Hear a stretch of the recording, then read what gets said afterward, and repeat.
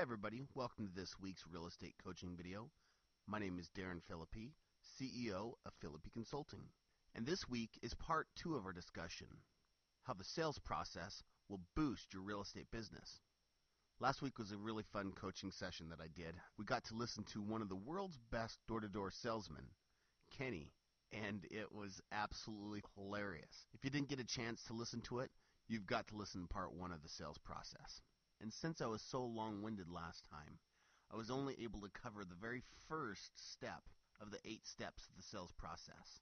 Now, that step is prospecting. I spent a lot of time talking about the importance of prospecting and making sure that you implement it into your business because prospecting is the blood life of your business. So now I'm going to continue with the other eight steps to the sales process. Number two, setting the appointment. Setting the appointment's pretty uh, is is extremely important when it comes to uh, obviously the business because uh, we spend all this time prospecting and and this is our first time that we actually reach out and try to uh, make contact with the client or the or the prospect I should say. I think that probably the most important part of scheduling the appointment is creating a process one thing we want to do is is as real estate professionals is we want to make it so um, uh, our clients experience a very consistent way of our business is the way we pre- present ourselves. Uh, if we're going to uh, when we get a lead, what do we do with that? Do we send them an email? Do we send them a letter? Do we pick up the phone and call them?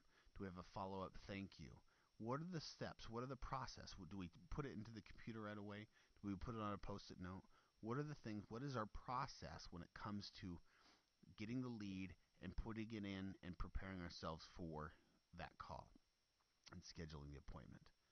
What is the purpose of, of when we're trying to schedule that call? I think the most important thing that we need to remember when it comes to scheduling this appointment is we're not there trying to sell a house. We're not trying to to to close that loan or, or take take an application right there.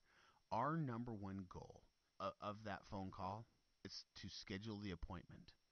Oftentimes we get caught up because they start asking so many questions, and uh, and and it's easy for us to be able to jump right back into it and answer that question, answer that question, answer that question. Well, until we've been we're able to meet face to face, it's very easy for them to say, "Nah, no, you know what? I'm not really interested." So what we want to do is if they start asking tons of questions about what about this, what about that, well, that's why I want you to come on in. So let's schedule a time where you can come in. We'll talk about it. When and then when you are face to face, they're going to be able to see who you are. You're going to be able to show them your personality, and you're going to be able to see that you're just not another voice on the other side of the phone. Okay, this is a very important thing to remember when it comes to scheduling appointments. Number three, establishing the relationship. What do you think about Kenny? Do you think he established a relationship? Um, there was definitely some things he wanted to uh, portray. He he wanted to let you know that he had a very good that that he was excited. He wanted to let you know that he was here, really having fun doing what he was doing.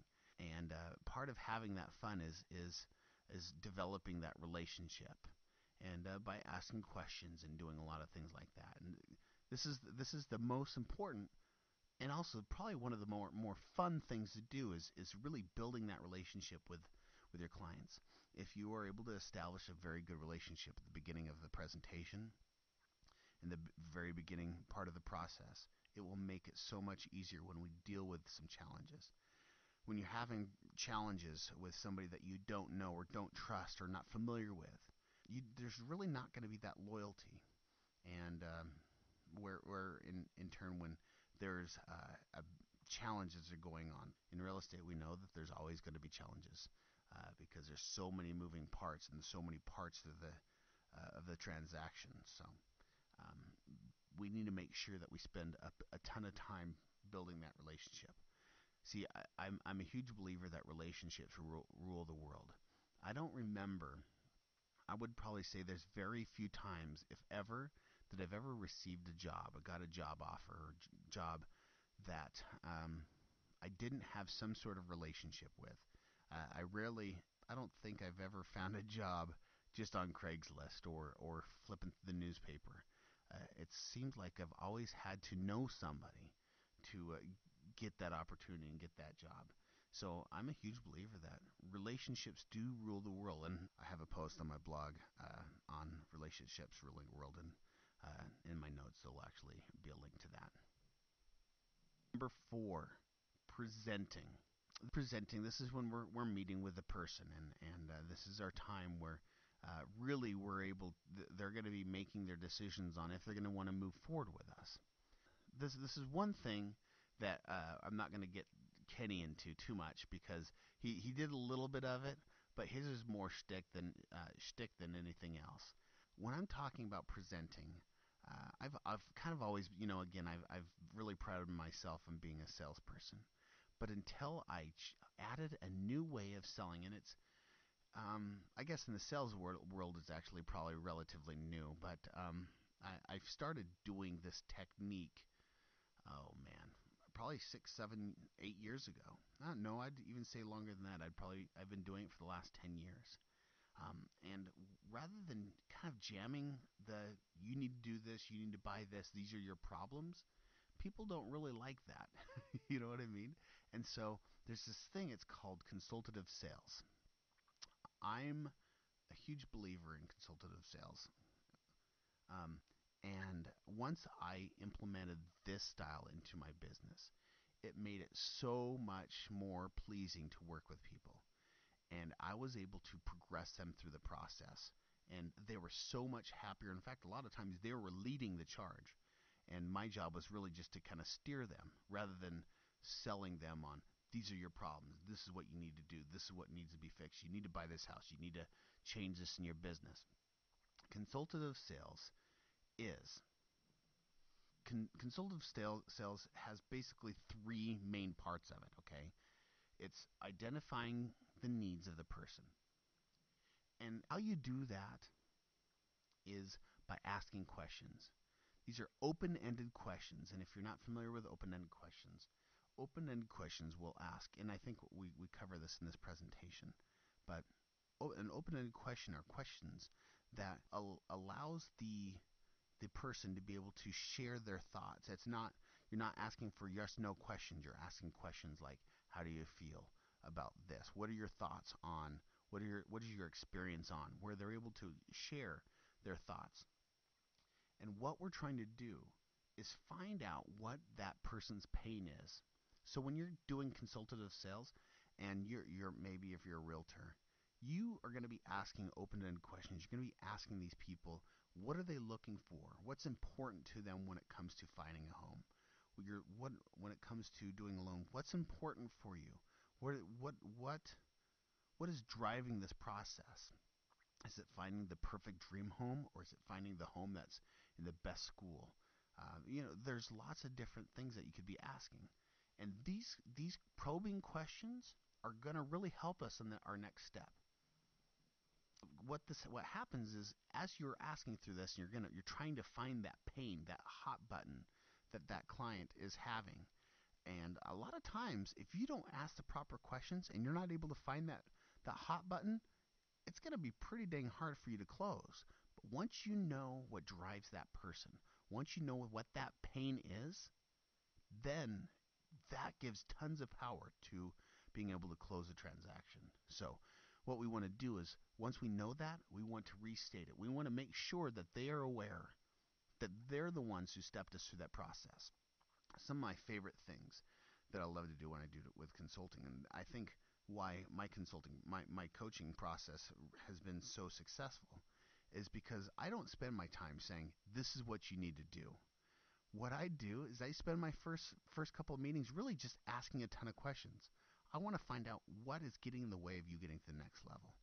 And the questions that I ask, I never come back and say, hey, this is what you need to do. My clients, they realize it for themselves. And that gives them, uh, what does that give them? It gives them a lot of things, but what I think that gives them the true drive to want to change. And uh, once they know that they've got that pain, they want to fix it themselves. And that's where that restating is saying. And then once we find what that pain is, and we've restated it, what we need to do in consultative sales is to uh, provide that solution that fulfills that pain or that need. Because if we know what that is, and there's they themselves have said, "This is my pain and I need it fulfilled," if you you're able to provide it, that's it. It's closed, man. And uh, that is why consultative sales is such a powerful, powerful tool. And and I think I think uh, a lot of it comes naturally. And I think really the key when it comes to this whole thing is really asking those questions, asking those questions that find out what drives that person. Uh, apply this principle to your business, and I promise you, you'll you'll find more success. No doubt in my mind. I've my business has blown up ever since I've really implemented this into my business. Okay, so we just con- did a consultative sales job, and we know exactly what they want, and we close them. We getting the job? Are we getting? Are we going to close this deal now? What do you guys think, huh? You think it's going to be that easy? Try. In a perfect world, they're going to roll over and say, "No problems. Let's sign the contract. Let's go right now."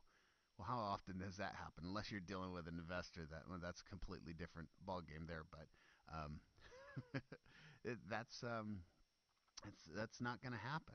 There's always going to be a time where we gonna we're gonna have to handle objections. Uh, there's always going to be those challenges, and um, handling objections is a very skilled uh, activity, and, and um, uh, what, what what would we call it? I don't know. It's just it's a skill that that I think can be taught, um, and uh, I th- I think that's going to go right back to um, our batting practice. We go to our batting practice. Guess what? Going through handling those objections, um, we need to be uh, know what the questions are going to be asked by that client. We our preparation before that meeting is got we've got to practice it and we've got to take our cuts. And uh, so, again, handling those objections, that's where you're going to need to do a lot of research before and be prepared and take those, those, those cuts before uh, you're with that client. Number six, now we get to close the sale. That's good, right? That's what we're looking for. Okay. This is this is where we, we start seeing the finish line, and uh, or at least we think it's the finish line. Wait till I uh, get finished with you. in this presentation. You're like, oh, great. But anyway, that's where we go to the finish line. Now, there's different types of closing deals. There's the hard close, and then there's the soft close. And uh, if you're familiar with if you're familiar with sales, you're probably familiar with what a hard close is or a soft close is. I'm going to go over it just just so everybody's kind of uh, covered on this in this area. The hard close um, is asking for that sale. So, for instance, Mr. and Mrs. Buyer, do you want to buy this house? You ready to buy this house? You want to sign the contract? Those would be considered hard sales. I want to call them out right then and there. That's the way it is. And there's a time and a place to use a hard sale. Um, uh, or sorry, uh, there's a time and place to use a hard close. Um, and uh, that is that is uh, a lot of times that gets things moved moved forward. Then there's the soft close. Um, soft closes are also very important, and, and I would not say that they're a, a wussy way of closing. Now, depending on if this is if you never do your hard close, then you're kind of being a wuss. But when it comes to a soft close, those are kind of more probing questions. Uh, uh, in fact, Kenny did did some probing questions where he was doing some soft closes, saying, "Could you see yourself using this? Could you see yourself using this product?" Where do you think you would use this product the most? In the kitchen, the bathroom, the you know, and he started listing all these different places. Those would be kind of considered soft questions. We're, they're probe or a soft close. We're probing questions that are uh, help providing the answer and preparing us for the hard close. Like so, for instance, on this one, can you see, can you see yourself living here in the near future? That would be a soft close. It's a closed-ended soft close. But it's a soft close. And and mixing your soft closes with your hard closes um, will really help um, you know close the deal. And there's there's very specific times, and again, that's where it goes back to to practicing. So I hope I haven't bored you guys on this uh, soft close, hard close stuff. But man, got to practice that. Got to get it down. Ask for the referral. This is I think I think a lot of times we spend so much time working with our client and we go to finally get to sign the papers at escrow and we're so glad and we're like I'm glad that thing's done. that we sometimes we just kind of say glad that's done. That was a pain in the tail. I'm glad I'm not having to do that anymore. And we forget to ask for referrals or we just don't ask for referrals or we say to ourselves, you know what, I did a really good job. When they run into somebody, they said they were going to send me to send them to me, and we need. I think this is a huge missed opportunity. I, I, one of the stats that I absolutely love is uh, every American family is aware of a minimum of a, at least three real estate opportunities each year, which means every time that you close someone, they're going to come across at least three other opportunities throughout that year. Now, especially if you're able to remind them that you're there and uh, ask for those referrals, you're in a process where it makes sense. You will capture more referrals if you're um, literally asking for them, not just assuming that they'll come when it happens. Okay. So, so part of finding that success when it comes to asking for referrals is we need to create systems to capture the referrals rather than receiving referrals. I'm not going to get into this. i have already exhausted myself on this, this, topic, and I've already covered it specifically in one of my other coaching videos, um, which is capturing referrals versus receiving referrals. But this is a, a huge thing. Uh, we don't want to go through the whole process and then at the very end say, "Hey, by the way, do you know anybody that needs to buy a house or list a house or needs to get a loan?" And they say, eh, "Yeah, maybe I'll let me get back to you." And then what happens? We don't let that happen. We don't ever get that referral and then we don't follow up. we don't get follow up, and and then uh, they don't remember who we are after a while, and and I think that's a huge missed opportunity. So we need to make sure that we create a system that we put our clients and our contacts through through the whole process, not just at the end, but through the whole process. So when we close, we're able to walk away with referrals, or before we close, and as long as we're doing a good job, we walk away with uh, introductions. Um, it doesn't have to be a hey, this person needs to buy a house. What we want to do is we want to add to our database and say, I want to be introduced to people. Okay. Already kind of tipped my hat a little bit to this last one, which is following up. I would probably say this is where the majority out of the whole sales process, uh, the eight steps, I would say that this is where um, the majority of uh, real estate professionals really miss out on is that whole follow up system. You spend so much time working with that client, working with that contact, and they say, you know what, we'll probably end up getting give you a referral later or whatever. And then what do we do? We never follow up with them again. They never hear from us, or maybe we send out Christmas cards or or we send out a birthday card. Once or twice a year we might send out, if that at all The majority of the cl- clients that I work with, that's all they do if they're lucky. And I think we're missing out on a huge opportunity on that. So we need to make sure that we create processes to follow up. Now, kind of as an example, I want you to think if you're a real estate agent, I want you to think about five loan officers that you're working with right now. I want you to write them down right now. Write them on a piece of paper, write them on your on your phone, write them on your computer. I don't really care. I want you to think about five, list them out out loud. And if you're a loan officer, I want you to think of five real estate agents that you're talking to, that that are that you're actually working with. And after this exercise, I want you to sit there and think, okay, who's the first person that you asked about, that you thought of? That person, my guess, you probably spoke to him today. You probably spoke to him the last couple of days. You probably spoke to him in the last week. And my guess is also you're probably thinking number four, the, the number fourth and the number fifth person as a real estate professional. It took you a while to actually think about them, going, ah, what was her name? Or I, I can imagine who it was. And you haven't probably spoken to that person for quite a while. It's the exact same thing with your clients. The, the ones that are going to get your business are the ones that you're going to interact with. And the ones that are willing, your clients that are willing to share referrals or introduce your their friends and family to you is the ones that you're going to stay in contact with. How are they ever going to send you referrals if you don't remind them that you're there? And that's about following up. So, it's extremely important for us to remind them that we're our clients in our sphere that we're there. And if we do so, then we'll get their business, much like your real estate professionals who you do business with. The ones that you who get your business are the ones that you stay in contact with. All right, and I'm going to go over this. I kind of got all wound up, and I forgot to read this last part. but uh, my thought is this: because we know that closing ratio, closing business, is the best by getting referrals. If referrals are the best source of getting getting business, how do we expect to get referrals if we don't follow up? It's extremely important. We've we've got to make sure we follow up. We've and the key for following up is to create a system. Create systems that make it easy for you to follow up. Uh, create turnkey systems that uh, can be reproduced. And I, if you need help on that kind of stuff, man, that's what I do. That's that's what I kind of specialize in. So that's pretty much it. Those are the eight steps. Uh, those are the eight, eight steps of uh, the sales process. And understanding those steps and then implementing them into your business will make a huge difference. Okay. Uh, I love, I love this. I love to sell.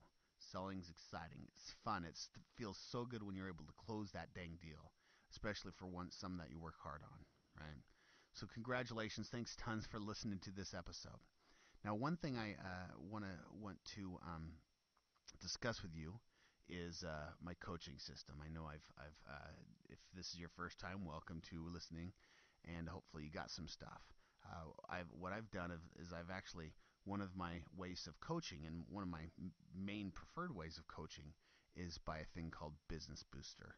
It's my one-on-one coaching system that provides one-on-one coaching, top producer interviews, exclusive coaching videos. It provides a uh, worksheet or work, uh, yeah, worksheet where you're able to work out your numbers and kind of plan what kind of activity needs that you need to do to actually end up getting your end up goals. And then I also provide a thing called the Simple Social Media Tutorials. These are 12 or these are 11 tutorials about uh, an hour and a half long uh, that will like literally step you through the process of creating the simplest way to do social media.